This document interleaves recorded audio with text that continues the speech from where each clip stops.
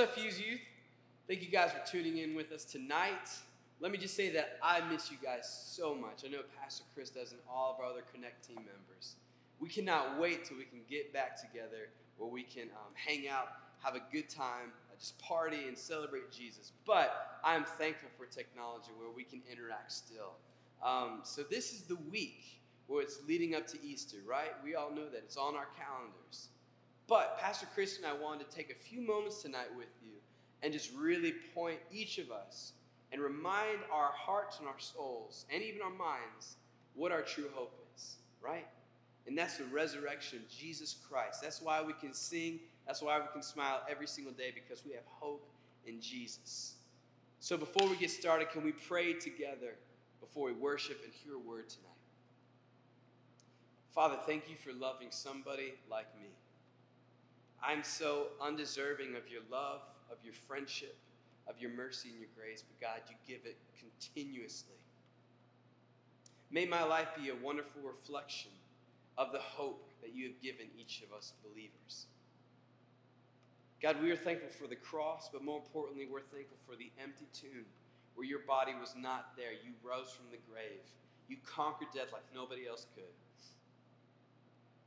God, tonight, would you direct our attention to, to why we focus on Good Friday, to why we celebrate on Sunday, on Easter. God, you are our hope, you are our rock, and we want to celebrate that tonight. We want to rejoice in you tonight. So, God, may every heart sing with us. May every soul listen to your word tonight. God, and may you be glorified in all that we say and do. And I say all this in Jesus' name. Amen. Amen. Let's worship together.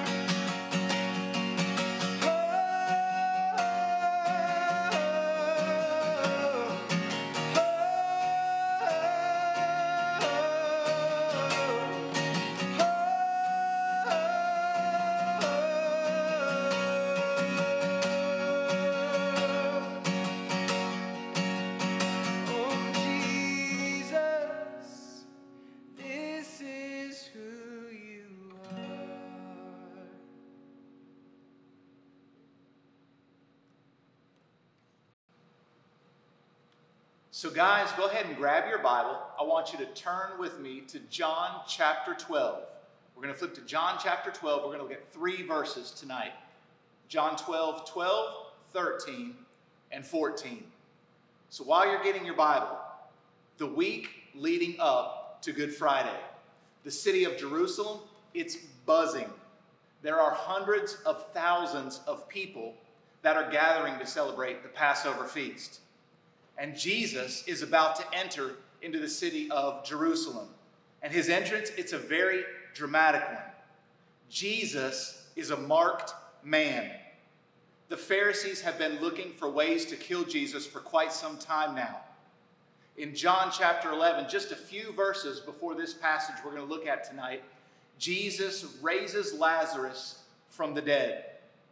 And the news of Jesus raising Lazarus has many turning to Jesus and putting their faith in Him. And so, Jesus, His popularity is at an all time high. There are people that are coming for this Passover feast that are in attendance, and they're wondering if this Jesus that they've heard of is going to be there. And most of the people at that Passover feast had never had an experience with Jesus. Most of them had never even seen, spoken to, or had the privilege of touching Jesus. But I can't help but think that many of them there had experienced Jesus' healing. I mean, think about it.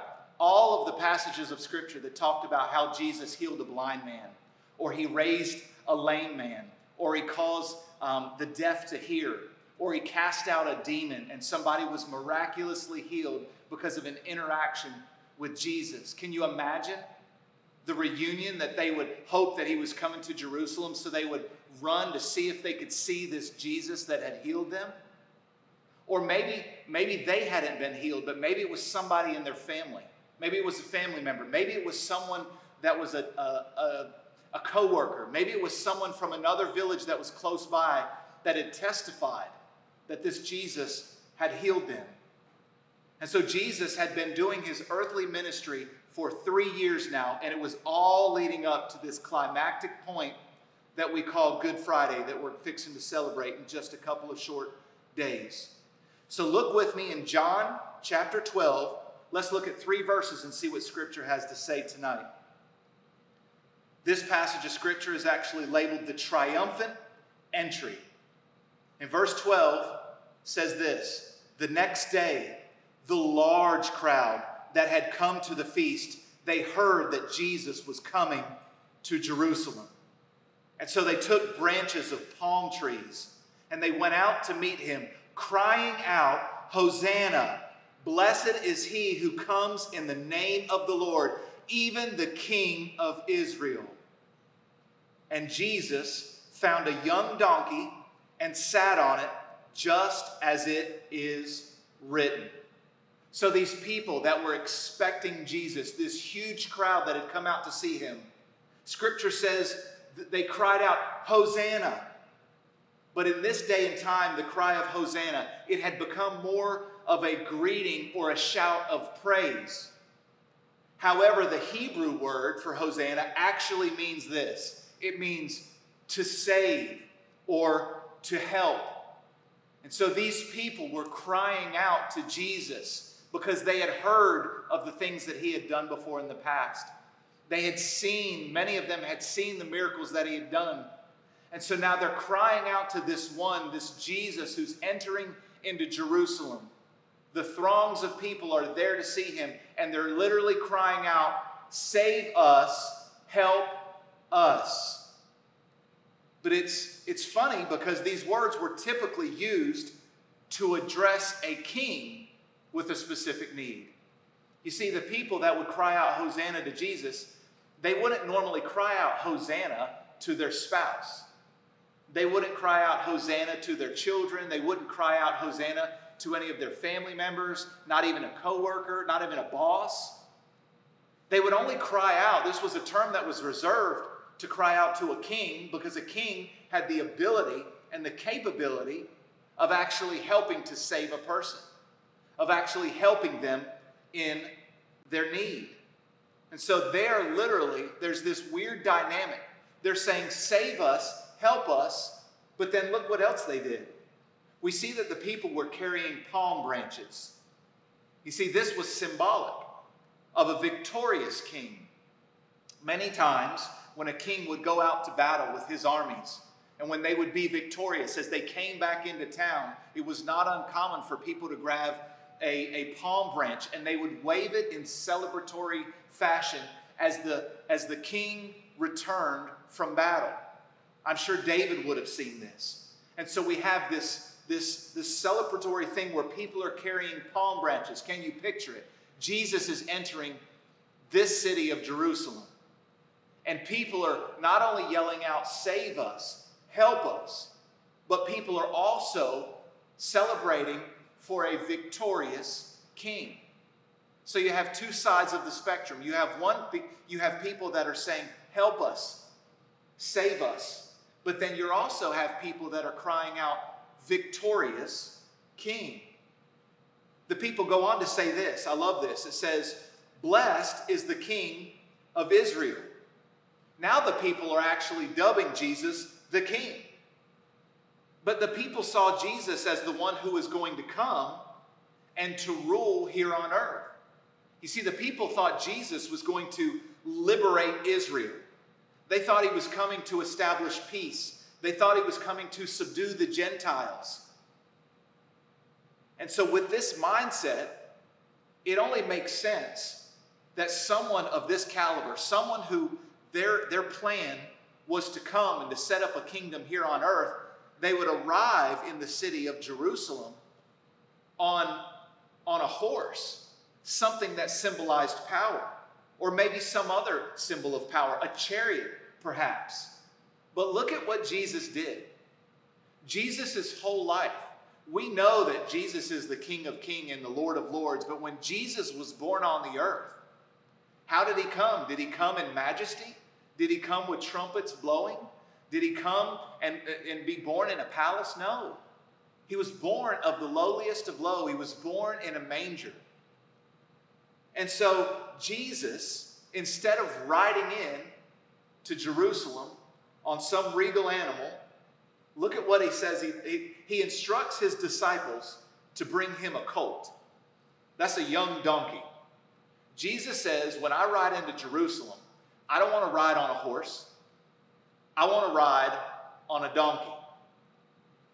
And it's funny because Jesus is literally making a mess of the picture that these people were trying to paint. You see, oftentimes I think it, that we're very similar. God is always up to doing something, right? But it's kind of like this paintbrush. God is trying to paint a picture, even as the things that we struggle with now with this coronavirus. Do you know that God is trying to use this to paint a picture? And oftentimes, what we do is we try to snatch the paintbrush from God's hand and we start to paint the picture that we want to see. The fact that Jesus said, Go get me a donkey, it's literally like he took his hand and messed up their painting or messed up their idea of what they wanted to happen. The narrative of this particular story, God's word, it wasn't to be decided by the people.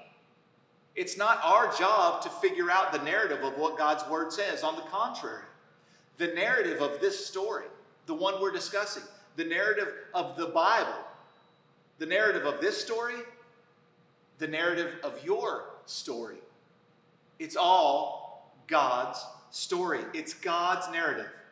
And I believe that oftentimes we miss what it is that God's doing, what it is that God's trying to do, because we lose sight that everything that exists is a part of His story. You know, this coronavirus, it's not a part of our story. Even though it's affecting us, this is a part of His story. It's a part of God's story. It's a part of His narrative. God is in control. And I just want to challenge us, challenge you and I today that as we lead up, I don't want to focus on the coronavirus. We need to be focusing on the Christ that's riding into Jerusalem that we're reading about here. The crowd shouted, Help us, save us. And it's ironic that that's exactly what Jesus had come to do. But Jesus wasn't going to save them. It wouldn't be through political liberation that they expected. That's what they wanted. They had always had a king, and that's what they were looking for someone to sit on a throne and to rule them. But Jesus was here to do the will of God the Father. You see, God's narrative never changes. God is painting a picture, and it's spelled out in His Word. The people thought that Jesus was going to come there to, to liberate them politically, to rule them, and to set up a kingdom here on earth. But can I tell you tonight, student, Jesus never came to fix a broken system. We need to hear that. Jesus never came to fix a broken system. He came to fix a broken relationship.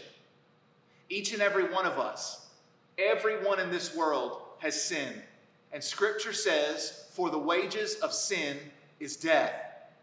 All have sinned and fallen short of the glory of God, the glory of the one who's painting the picture. It's his narrative, it's his story. And so we need to realize that it's not, Jesus never came to fix a broken system. He came to fix a broken relationship. The relationship that you and I broke when we sinned against a holy God. So, as we close tonight, as we celebrate Ash Wednesday, and we look forward to Friday, Good Friday, that's coming up, the, the climax of the purpose of Jesus to come to this earth, we see in John 3:16, "For God so loved this world that he gave. He gave his only son, that whosoever believes in him should not perish, but have everlasting life. I don't know what your situation is tonight. I don't know where you're at tonight. I don't know what it is that you're going through or that you're dealing with tonight, but can I tell you, God does. And if you're in a broken spot, whether it's emotionally, physically, financially, spiritually, guess what? Jesus came not to fix broken systems, but he came to fix a broken relationship. And God wants to have a relationship with you, but it only comes through Jesus Christ, his Son. Would you guys pray with me? Father, right now, I pray that as those who are watching tonight, if their hearts are hurting, Lord, Scripture says that you are near to the broken hearted.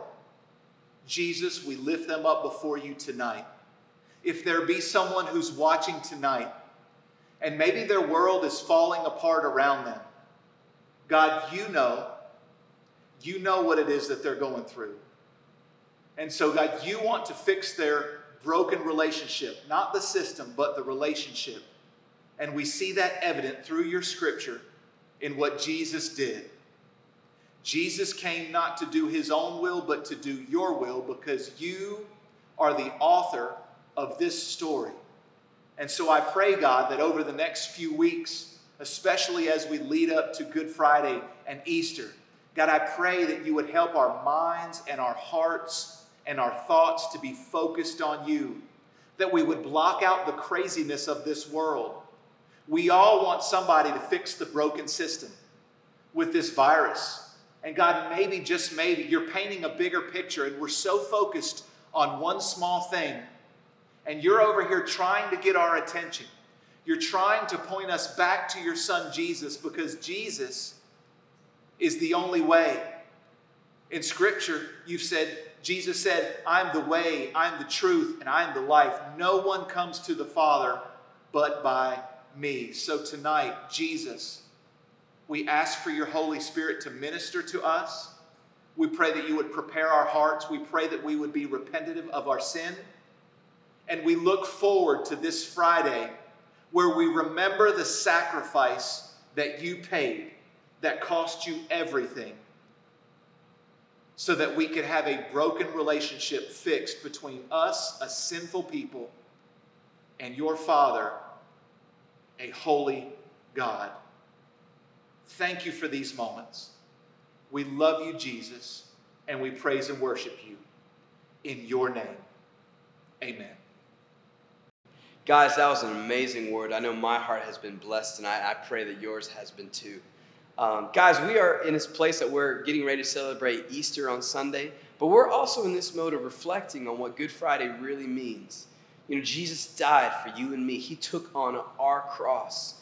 So this week, we're really taking times, we're really seeing the symbols, and we're really seeing the things that, that mean something to our faith.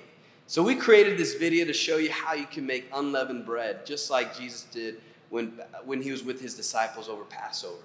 So, guys, watch this video, learn how to make it, make it for your own, make it for your family, and guys, celebrate Good Friday with us, and then have a celebration with us on Sunday as we as we celebrate and rejoice in the resurrection of Jesus Christ. We love you guys. Watch this video.